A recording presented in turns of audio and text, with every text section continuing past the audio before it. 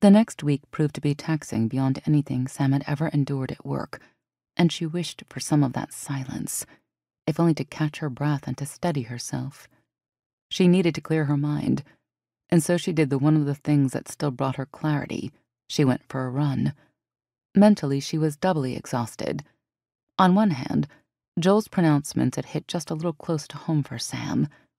Despite Magdalene's assurances, and in spite of her own set of quite impressive accomplishments for her age and her humble beginnings, Sam had never been more aware of being gay in a workplace than right now. Her closet had been rather firmly shut for years, with Joanne the only person aware of its existence.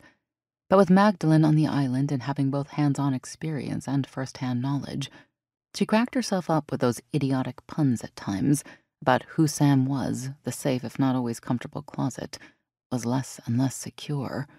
Sure, the Supreme Court's decision a year prior stated that an employer that discriminates against someone simply because they are gay or transgender breaks the law, and she felt safe in her position, but Sam's heart was still heavy.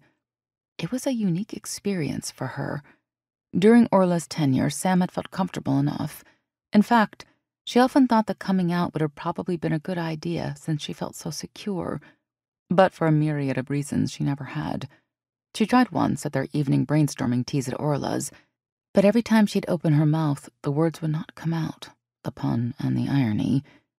So she never did open up her closet to Orla or to anyone else on the island bar Joanne.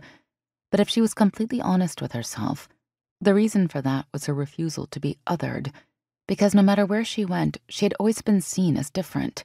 First, as the only orphan attending dragons, then, as to her knowledge, the only teen at school who did not dream of boys.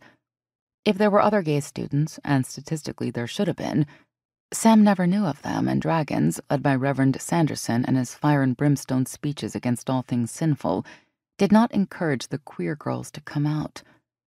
Years went by, and it wasn't like her prospects of finding anyone on an island as small and as conservative as Dragons were actually real, and so Sam had kept her secret. Until now.